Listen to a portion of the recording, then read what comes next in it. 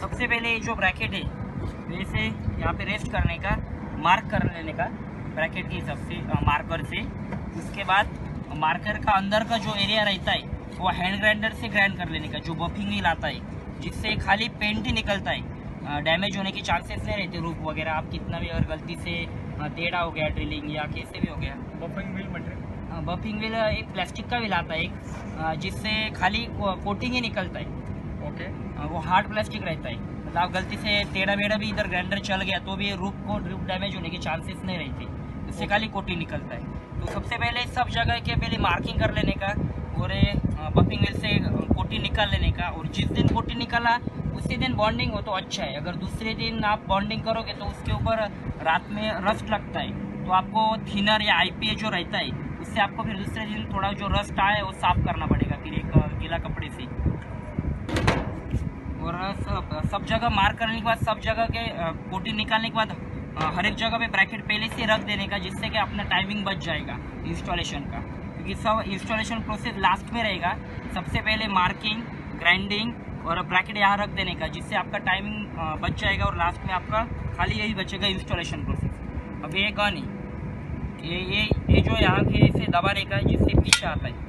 फिर जब ऐसा प्रेस करोगे तो आगे जाता है। पीछे लाने के लिए दबाने का।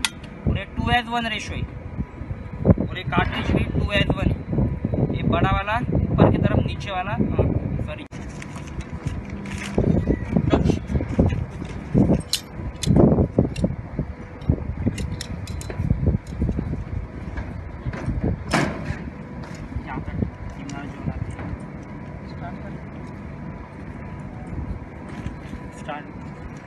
अभी आगे का एक कैप निकाल लेने का. और इससे एडिटिव बाहर आता है और एडिटिव नीचे डालते समय ऐसे नहीं डालने का क्योंकि जब आप एडिटिव इधर से बाहर निकलेगा ग्रेविटी की वजह से वो इधर से नीचे जाएगा तो इधर ही मिक्स हो जाएगा तो डालते समय भी ऐसा डालने का जिससे कि दोनों एक लाइन में नीचे आ जाए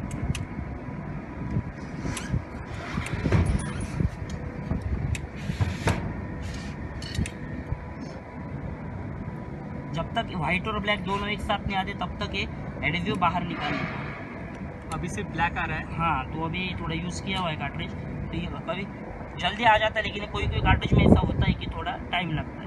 अभी आने चालू है। हाँ। क्लीन करते समय भी आपको ऐसे नहीं क्लीन करना है जिससे वो मिक्स ना हो जाए। क्लीन करते समय भी नीचे की तरफ़ की आपको क्लीन करना है जिससे वो मिक्स ना हो। फिर ये ये है। इसमें लगाने का इसमें भी एक बड़ा एक छोटा रहता है। फिट हो गया।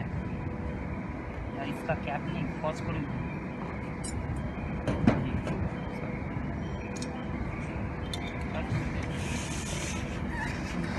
ये नोजल लगा ये नोजल लगाने। के बाद। नोजल को वापस ले ले। कैप लगा सर बारीक वाली तीन छोटी वाली।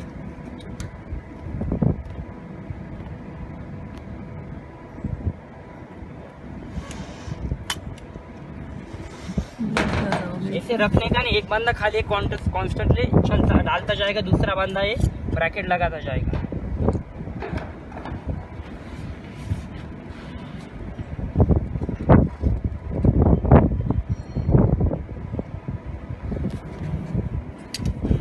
अभी टेम्परेचर बहुत है जिसको आपको पकड़ के रखने की ज़रूरत है। ऐसा चारों तरफ़ से एडिजिव बाहर आना चाहिए।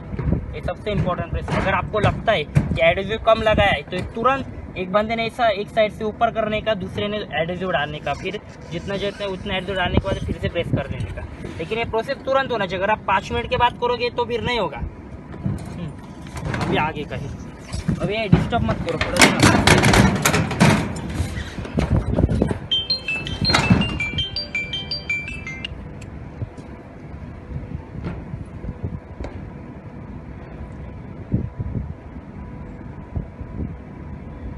जितना चाहे उतना जाड़ आप लाइन डाल सकते हो।